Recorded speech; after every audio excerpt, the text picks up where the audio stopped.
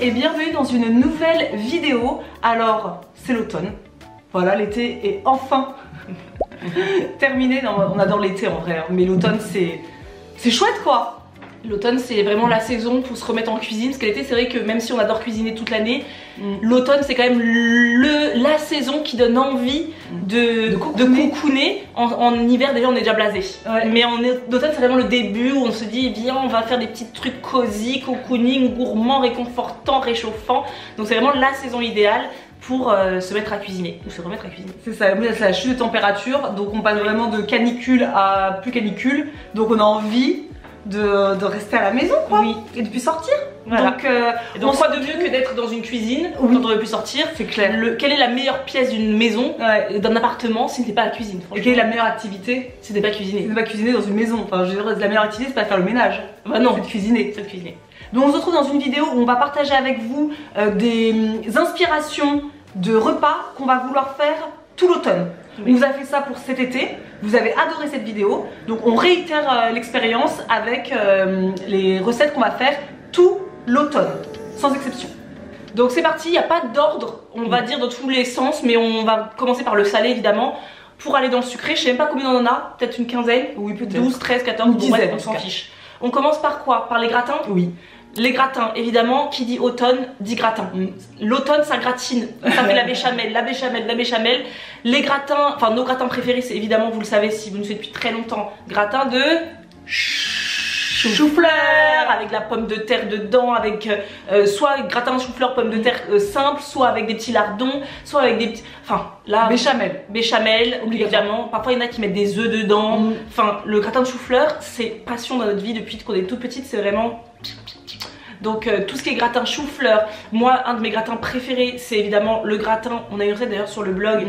mais le gratin d'épinards à la Florentine, c'est juste des, des épinards avec des, de la béchamel évidemment et des œufs durs que vous mettez dessus. Ça aussi, c'est toute notre enfance. Trop bon, Notre mère a fait, a fait ça depuis Mm. qu'on est toute petite. Vraiment, les- le gratin d'épinards avec les œufs durs, c'est vraiment euh, Et très petit budget. très petit budget aussi. Enfin, quasiment toutes les recettes sont très petit budget. De Oui. toute façon, comme d'habitude, euh, on est des filles cheap. Voilà. Et ensuite, il y a aussi tout ce qui est les gratins de blettes, Ah oui. les gratins de saison, enfin, euh, tout ce Oui. qu'on trouvera là, Mm. on fait des gratins. Gratins aussi de pâtes, le gratin de pâtes avec les petits morceaux de jambon de lardon, les gratins de pâtes classiques, euh, c'est hyper bon. Et aussi pour les enfants, c'est parfait. Les gratins, c'est parfait pour les Oui. gosses. Et surtout pour les familles nombreuses aussi, parce que vous faites un plat, Mm. ça peut vous durer plusieurs jours. C'est le, grat- le gratin, c'est vraiment le repas, le repas familial, euh, économique par excellence. En deuxième, on a aussi les légumes rôtis. On en a parlé euh, cet été, mais bon, pour moi, les légumes rôtis, c'est euh, automne, été, euh, printemps, hiver. Ouais. Et on fait les- avec les légumes rôtis qu'on a euh, de saison. Donc les légumes rôtis, on vous en a parlé aussi un milliard de fois, donc on va pas s'étaler pendant 10 ans. Mais c'est l'automne, les courges vont réapparaître, enfin ont déjà réapparu. Et là en plus, à cette période de l'année où on finit l'été et on commence l'automne, on a ce mélange qui est d'ailleurs la seule période de l'année où c'est assez chouette, je trouve, les mélanges de légumes, où on mélange les, légu- les légumes d'été avec les légumes euh, d'automne. Donc, euh, se retrouver avec des, des légumes rôtis, d'aubergines, patates douces. Je trouve que c'est trop beau, quoi. Pour les étals de marché en ce moment sont vraiment euh, très beaux à voir. Ce mélange C'est de les plus tomates, beaux de c'est les plus beaux de l'année. Les plus beaux de l'année, c'est vraiment cette saison, euh, Mm. fin septembre, octobre. Mm. Et après, c'est très beau aussi que, de voir que des courges, mais j'aime bien aussi voir quand même quelques tomates. Bouffer des tomates avant qu'il n'y en ait plus, les amis. Non mais le pire de toute façon c'est faut pas se mentir c'est la période hiver printemps. Hiver-printemps. Enfin non ça on Non. fera même pas de vidéo. on n'en veut pas. Si, il faudra justement les inspirer, les. Euh. Ensuite on a bien sûr les veloutés, les soupes, les minestrones. Alors ça, moi, la minestrone, c'est vraiment la soupe que je vais faire le plus souvent en automne. Notre mère aussi d'ailleurs, elle fait très souvent euh, les minestrones en, en automne-hiver parce que c'est alors une minestrone c'est quoi? C'est une soupe italienne à base dedans ils mettent des pâtes, des, des haricots blancs. Souvent c'est des haricots blancs, des pâtes, des pommes de terre et après vous mettez des légumes donc euh, souvent c'est euh, euh, poireaux, carottes, céleri. C'est vrai que c'est une soupe qui se mange, qui ne se mixe pas du coup. C'est une soupe vraiment avec des morceaux dedans. Nous on a une recette sur notre euh, e-book d'hiver il me semble, dans notre e-book d'hiver avec du tofu fumé. Et il n'y a pas de pâte dedans, nous c'est que haricots blancs et euh, pommes de terre. Mais moi je sais que je vais la refaire celle-ci, je pense en supprimant les pommes de terre pour mettre des pâtes parce que ma fille, c'est sûr qu'elle adore Mm. ça. Vous mettez des petits, vous savez, des petites pâtes, euh, il faut des pâtes courtes quoi. Mm.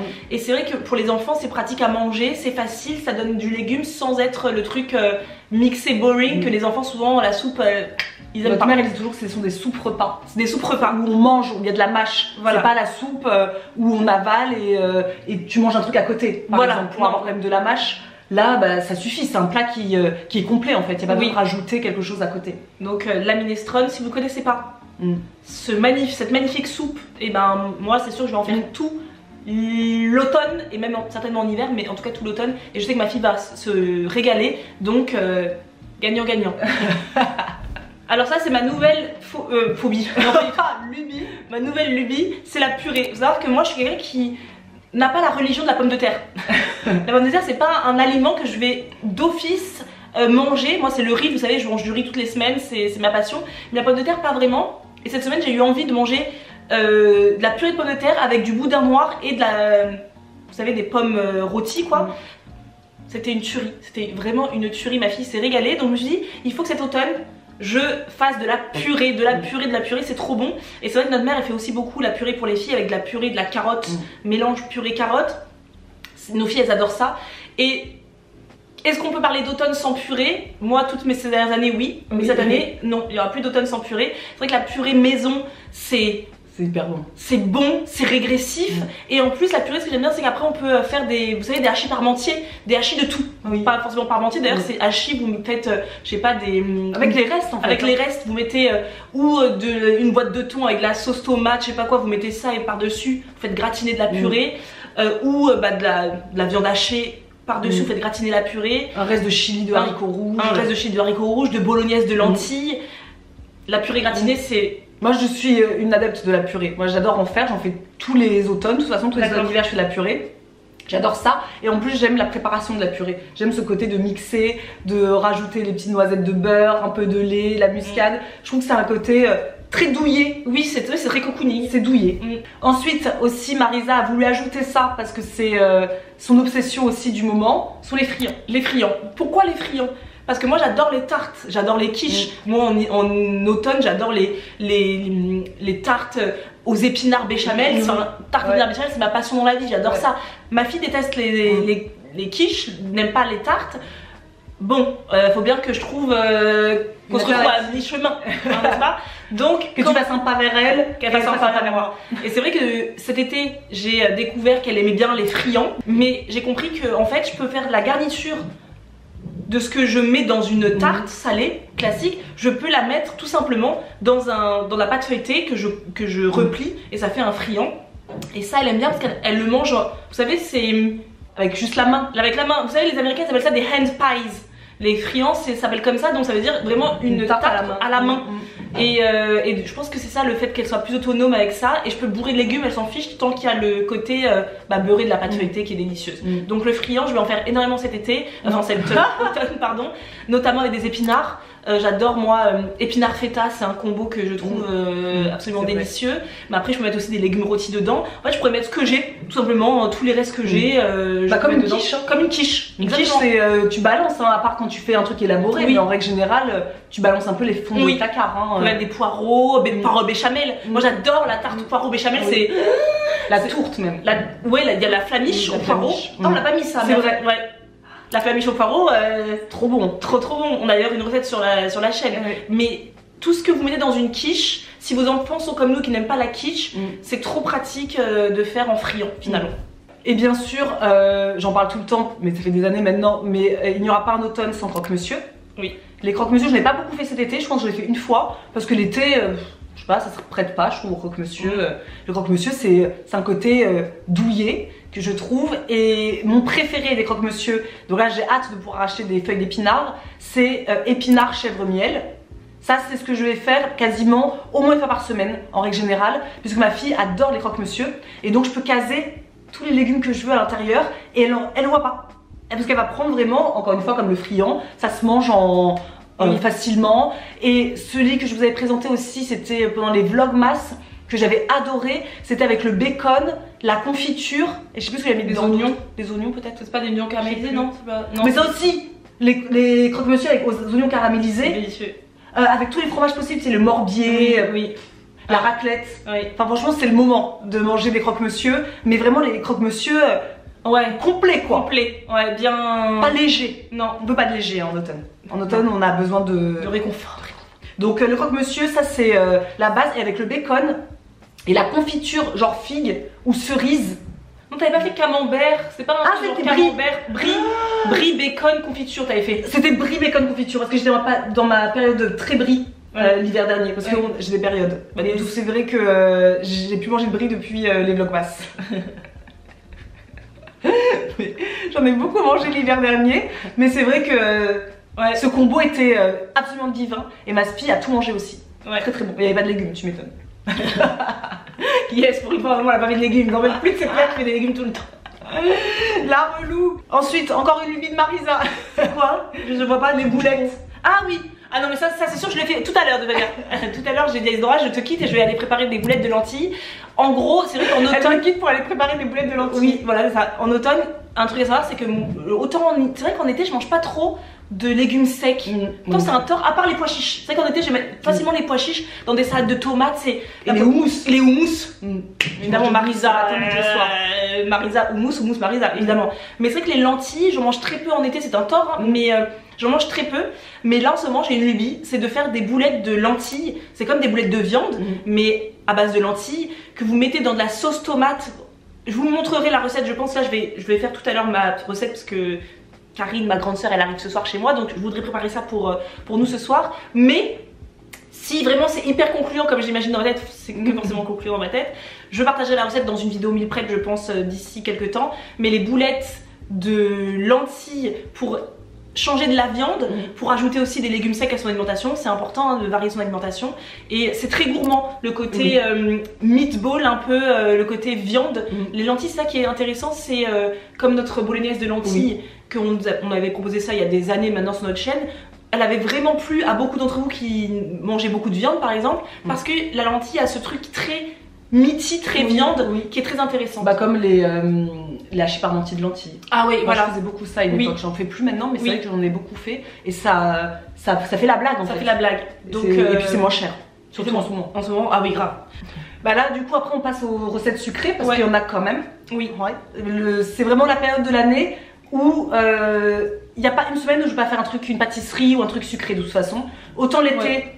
C'est peu. Non, je fais Parce qu'il y a très beaucoup les fruits. L'été, t'as les, vrai. les, fraises qui sont. T'as les Ouais. les- L'été, c'est les glaces. Oui. On fait peu Ouais. de, de vraies quand on reçoit, Que quand tu on reçoit. On va faire les gâteaux, ou au Oui. citron, un truc comme ça. Mais euh, vraiment l'automne, Oui. ah là là là là, moi je passe beaucoup trop de temps en cuisine pour faire des, euh, Ouais. des choses sucrées. Donc, en premier, euh, on a tout ce qui est les pommes au four.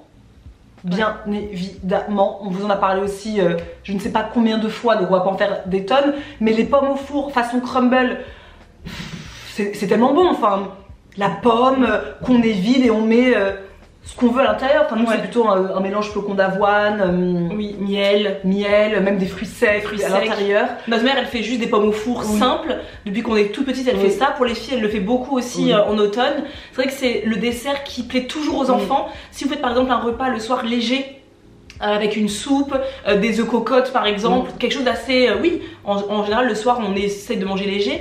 quelque chose de léger. Le dessert à côté, c'est une belle pomme au four. Mhm. C'est du bonbon, c'est du, c'est du gâteau en fait. Ouais. Et ça, nos filles, elles adorent ça. Et j'avoue que j'adore ça aussi. Mais c'est vrai que là, moi, ça m'est j'ai envie- parce que juste pour les pommes au four, euh, l'astuce de notre mère, je sais pas si on l'avait, on l'avait déjà partagé, mais euh, et que beaucoup ont, hein, euh, si vous avez des mères ou des grands-mères qui faisaient ça, tout le monde connaît, mais vous mettez un morceau de, de- Ah soit de pain rassis, soit une biscotte que vous mettez dans une votre brioche, plat, une brioche, Mm. un truc rassis en général parce que Oui. les sont un peu durs, et vous posez votre pomme dessus, vous mettez au four, et là vous avez vraiment le, le dessert complet. Là c'est Oui. le package. Oui. Et là c'est hyper bon. vrai, maman, maman le faisait beaucoup avec le pain. C'est euh, hyper bon. pain rassis. Très très très bon parce que vraiment le, le jus de la pomme tombe dans le pain donc on a un pain qui est euh, mi-mou, mi un petit peu euh, croquant en bouche, absolument délicieux. Donc si vous avez un morceau de, de pain qui traîne, faites Et c'est vrai qu'en automne, les pommes elles reviennent et au bout d'un moment, on sait plus quoi en faire des pommes. Et ça, c'est vrai que c'est pratique à faire en meal prep. Mm. Vous prenez, euh, c'est une famille nombreuse, vous prenez 4-5 pommes, 6 Mm. pommes, bim, dans Mm. un plat allant au four, un peu de au fond, euh, cannelle, euh, un peu de miel, ce que vous voulez, bim, au four. Et ça, ça, ça, ça se garde aussi au frigo. hein, si Mm. euh, vous pouvez en faire, euh, moi je l'ai fait souvent pour 2 deux, jours en général. Et c'est vrai que c'est hyper pratique, c'est délicieux et ça coûte que dalle quoi. Mm, mm.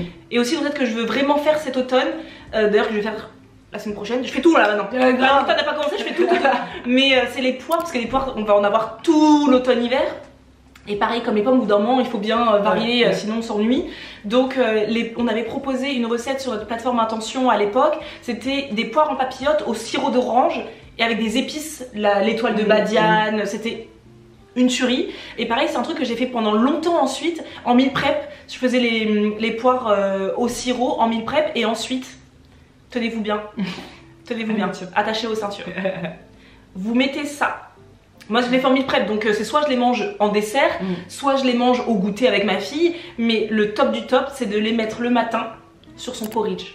La poire au sirop sur un porridge Bien chaud. bien chaud. Vous rajoutez un peu de décadence, ça fait pas de mal. vous rajoutez des pépites de chocolat dessus. Euh, c'est une tuerie. Mm. Ça, c'est ma fille. Ça, elle te dès comme ça, même pas l'impression que c'est un petit déjeuner. Elle pense Ouais. que c'est limite un dessert, un truc de ouais. foufou. Mais euh, c'est trop bon. Donc les poires au sirop, c'est quelque chose dont on parle peu. C'est peut-être Mm. un truc un peu vieillissant, Mm. mais remettons à la mode. Nous, on est là pour remettre à la mode tout ce qui est cheap, vieillissant. mais les poires au sirop, et c'est très facile à faire. Oui. Donc pareil, je vous prépare de venir une vidéo, Isidora m'a sommé euh, de préparer une vidéo meal prep d'automne. Je sais que tous les ans je fais cette vidéo depuis assez longtemps, euh, ce que je vais cuisiner chaque semaine en automne ou je sais pas quoi, Mhm. bref. Je vous prépare une recette de meal prep d'automne et il y aura la vidéo, la recette des, des poires au sirop d'orange parce que c'est une pépite, mais pareil, Google is, your friend, je sais même pas parler en anglais, mais Google est votre ami si vous voulez aller voir tout de suite euh, comment on fait des, des poires au sirop. C'est très très très très simple, vraiment, Oui, le nom est de- très fancy, mais en soi c'est vraiment, euh, si vous n'avez pas de- d'orange, c'est juste de l'eau et, et du miel. hein. Donc, euh, à, à mettre dans une casserole, il n'y a rien vraiment de compliqué. Ensuite, on a bien évidemment les muffins au potimarron avec le petit cœur coulant chocolat parce qu'on continue dans la décadence euh, dont Marisa euh, a Je, besoin. je sais même pas si on, a- on est autorisé à dire encore coulant si tu le manges euh, une heure plus tard. Non, Il est coulant Non. immédiatement si tu le manges, Ouais, mais tu ouais. manges vraiment un muffin tout de suite. non. Donc c'est pas plutôt au cœur chocolat. Au cœur chocolat. Euh, on l'avait partagé dans une vidéo bah, justement meal prep d'automne d'il y a des années puisque c'était encore à Angers à l'époque Oui. et euh, sans enfants et euh, Ouais, la ouais, belle. très, longtemps. Il y a très très longtemps ouais, qu'on avait fait cette. C'est une abonnée qui nous avait partagé cette recette il y a longtemps. Je l'avais proposée sur YouTube et c'est une recette qui a cartonné, Mm. qui fait partie des recettes euh, de vos recettes favorites de toute Mm. manière. Et euh, c'est sûr qu'on va le refaire euh, automne Mm. en version muffin, mais je pense que nos filles elles ont vraiment aimé la recette euh, version euh, Bah, mini cake. Mini cake, ouais. En fait, on a proposé sur euh, Instagram une recette, notre recette de banana bread, mais en format mini cake, parce Mm. que nos filles, vous savez, elles n'aiment pas, elles n'aiment pas les tartes, Mm. mais elles n'aiment pas non plus les cakes. Mm. Mais elles aiment les mini cakes. Ah. Qui l'eût cru? Qu'est-ce qui se passe dans la tête de ces gamins? Hein? Trop, trop de choix, trop bien nourri. Voilà. Donc du coup, je pense que ça peut être hyper sympa. C'est Oui. muffins façon mini cake. Ouais. Mais en tout cas, c'est des muffins. Vous Mm. pouvez le même faire. Moi, je les fais souvent d'ailleurs en cake. hein. En cake En ou même cake, ça. version mar- marbrée aussi, ça peut être en version marbrée. Mais en tout cas, le, la purée de potimarron Mm. que vous mettez dans un cake, est-ce qu'on peut passer un automne sans ça? Non. Bah non, clairement. Si vous Non. allez foirer votre automne si vous mettez pas ça dans un. Non, c'est clair. Et il n'y a pas d'automne dans ma vie sans gaufres et sans crêpes. Ouais. Ça, t'es vraiment la queen des, des gaufres et des crêpes. Ça, C'est impossible. Moi, je ne peux pas passer. Enfin, ce serait même. Enfin, c'est inenvisageable. Et en plus, moi, ça va plus loin parce que moi, j'ai comme un- une routine où c'est souvent le samedi soir où on va faire un repas léger. Genre, je vais faire une soupe en règle générale. Et je vais dire, ce soir en dessert, pendant qu'on prépare la soupe, etc., je fais des gaufres ou des crêpes. Et moi, je trouve qu'il n'y a rien de plus cocooning que de, se- de sentir le. Enfin, tu sais, vous faites la sieste le samedi après-midi. c'est important. On fait la sieste, on se réveille, il fait nuit. Ouais, Tu vois, ouais. il est- il est Ouais, 16h30, en 17h, il automne, fait nuit. Tu descends, t'as un peu froid, tu mets ton, ton petit peignoir ou ton petit pull là, euh, trop bien. Et ton enfant il joue tranquillement avec les lumières tamisées. Oui, Je suis vraiment là, je romantise. ouais. je romantise de ouf, mais c'est comme ça que moi je vois le truc. Et après, je prépare la pâte à, à gaufres ou à crêpes et on fait des crêpes quoi. Franchement, moi ça c'est c'est ma passion. C'est ma Mm. passion de l'automne. Moi, c'est pas trop ma religion. Ma religion, c'est plutôt les pancakes. C'est vrai que je suis très pancake, moi. Moi, Moi, moi. fait, je suis Mm. très pancake et là, ça y est, ça commence. Les pancakes, Marisa, elle recommence. J'en ai quand même fait en été, c'est vrai, de temps en Mm. temps, mais pas autant que j'en fais en Mm. hiver. Euh, en automne plutôt. En automne, c'est vrai que j'ai tendance à. Moi, le pancake.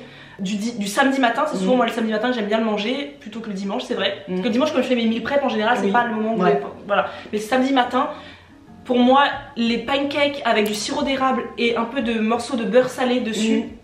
C'est trop bon. c'est trop bon. Mm. Mais après les gaufres, j'en fais pas des masses, sauf quand je vais recevoir. Mais sinon, j'en fais pas des masses, parce que Gemma c'est pas une fan de gaufres, elle en mangeait une et après elle mange plus. Ouais. Donc euh, c'est vrai que les gaufres, c'est quelque chose que je. Et je trouve ça vraiment convivial. Ouais. Euh, c'est pas un truc que je ferais forcément qu'avec ma fille, elle et moi, c'est vrai. Également un, un goûter euh, d'automne absolument incroyable, ce sont les beignets de pommes. Ça, c'est toute notre enfance.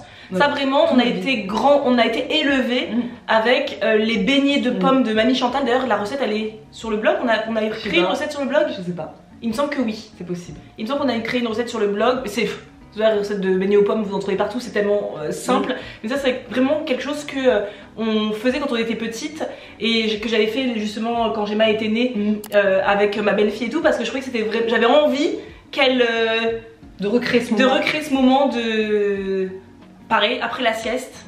Ah, romantise. Ouais, nous, moi je fais toujours la pâte, la, la pâte avant la sieste et ensuite quand on se réveille de la sieste, t'as ce moment de, de beignet aux pommes. C'est beignet aux pommes. Après vous rajoutez dessus du sucre. Ouais. euh, dessus c'est une. euh, Puis les enfants ils sont tellement contents Oui. quoi. Mm. Je, sais pas, moi il y a rien de plus merveilleux quand on fait ça. Les enfants qui courent, qui arrivent, euh, qui mangent. Ouais. C'est trop bon. Franchement, manger les beignets aux pommes, hein, c'est la vie. Oui. Les beignets aux pommes, c'est la vie. Et euh, pour finir euh, la vidéo, bien évidemment, euh, je passerai pas cet automne et cet hiver sans faire de pain au levain que je que j'ai complètement délaissé tout l'été. Alors que c'est là où j'aurais pu le faire le plus parce qu'il faisait tellement chaud que le levain il montait en deux secondes. Que l'hiver ça va être très compliqué, surtout dans cette maison où il fait très froid. Mais je trouverai des, solutions. Mais c'est sûr que le pain au, levain, je vais en faire, bah, allez, dès maintenant, je pense. Et Tu peux commander mon pain? Tu peux commander ton pain. Il faut que je, il faut que je m'y remette là. Euh, Je pense qu'à partir de la semaine prochaine, le pain au levain, c'est c'est reparti. Moi je voudrais bien une version euh, salée genre. J'ai vu euh, Cheddar. avec du ouais du de la du fromage dedans et genre du rom, du, romarin, ouais. fromage. Mm, J'avais une version salée. Tu veux faire un petit pain aussi? Non, pas trop? Je sais, pas, là, je- j'en suis pas là. Maintenant je veux moi je veux une miche Oui, niche. cheddar romarin. Est-ce que tu es capable de me proposer ça? Oui, bah oui. J'ai déjà fait romarin, mais euh, je le vois souvent avec les morceaux, les gros morceaux de cheddar là. Et quand on coupe Ou de comté, je sais pas, en. France, si on met avec du comté, ce serait bon. Comté Bah du coup, ce serait bon, mais c'est- pas aussi joli que quand on coupe et que c'est orange à l'intérieur. Parce que c'est vrai que c'est Ah ça oui, qui est hyper joli. Mais ça, en automne, moi, c'est très souvent figues. Ouais. Enfin, les figues séchées dans le pain, moi, je. Et je- les noisettes. les noisettes, les noix. J'adore figues noix. J'en ai, ai pas mal fait l'année dernière. Figues noix. Moi, je suis pas une fan de noix. En revanche, dans les préparations comme le pain, ça, je dis euh, toujours oui. euh, donc ça, je vais en faire, euh, bon, je pense au moins une fois par semaine. Et moi aussi, c'est pareil. Moi, ce sera pas du pain au levain, Mm. mais le pain de notre blog. C'est bon, vous l'avez entendu dans tous les sens ce- pain-là. La recette est sur notre blog. Le pain express sans euh, moule, à quoi que, enfin, Mm, sans machine, à quoi que ce soit. C'est un pain que je fais moi très facilement en, en automne. J'adore. J'en ai pas fait un seul cet, euh, cet été, mais pareil, moi j'ai tendance à mettre dedans ce qui me passe par la tête. Mm. Moi je peux le faire en petit pain aussi avec des petits lardons si j'ai envie, mais c'est très rare que je fasse ça. C'est surtout euh, moi c'est vrai que raisin sec, noisette, Oui. ce combo là est juste euh, le combo des dieux. Mm. Euh, sachant qu'en plus on peut le manger, moi je le mange personnellement autant avec du salé que du sucré. C'est vrai que par exemple le cheddar romarin, je peux pas le manger au petit, au petit déjeuner avec la confiture forcément, Mm. alors que celui raisin sec noisette, tu peux le manger Avec aussi bien avec du fromage. Un œuf. Donc le pain, franchement, mettez-vous-y. Mm. Si vous n'êtes pas encore comme Isadora à fond Mm. dans le levain, commencez tranquillement le pain Mm. qui est sur notre blog. La recette est tellement simple, c'est adapté à une enfant de 8 ans quoi. Donc Ouais. euh, dites-vous que vous pouvez le faire. Et, ensuite, aussi, on, ça aussi, on peut romantiser parce que faire du pain au levain, enfin du pain euh, tout court, Oui. moi je faisais que du pain comme euh, du, du blog avant, ça a ce côté aussi très cosy quoi. Oui, Ça sent bon, le pain quand il sort du four, Ah, ça, ça embaume la maison. c'est magnifique. Il y a, y y une estime de soi quand on, pré- quand on Ouais. fait son propre pain. Il y a un truc de Ouais. valorisation de soi qui. Mm. Tu sors ton pain. Mm. Genre le pain, c'est quand même le l'aliment de base de, l'humain. de l'humain. Mm. Enfin, il restera du pain jusqu'à la, nuit des temps. Le pain, c'est vraiment le l'aliment de base. Et donc faire son propre aliment de base soi-même, je trouve que c'est c'est rien de plus réconfortant, euh, cocooning et, et, jouissif. C'est ça, c'est qu'au cas où il est la fin du monde, vaut mieux savoir faire du pain. Moi je, trouve que c'est une bonne idée. Il est temps de, s'y mettre, vraiment. Pas s'y mettre. Bon bah voilà, la vidéo euh, est terminée, ça m'a donné envie de cuisiner. Oui. Moi j'allais faire mes boulettes de lentilles. N'hésitez pas à nous dire évidemment vous quelles sont vos recettes préférées mm. en automne parce que là on en a vraiment dit pas euh, beaucoup. pas beaucoup, parce que vous savez qu'on parle énormément, donc si on devait en faire 30, euh, c'est mort pour nous. Mais on partagera au fur et à mesure de l'automne. Vous savez, mm. là on rentre dans la saison où on va cuisiner. Mm. On va partager avec vous des super recettes d'automne. Donc dites-nous, vous, un automne sans cette recette, c'est pas possible. Ouais. Ça, c'est ça, c'est bien ça. Mm. Je ne passe pas mon automne sans. Mm, mm, bah on espère que cette vidéo vous aura plu, qu'elle vous aura donné des idées de recettes à tester euh, prochainement, de repas à tester. Et puis, euh, on se retrouve euh, tout la bientôt prochaine pour une nouvelle vidéo. À plus.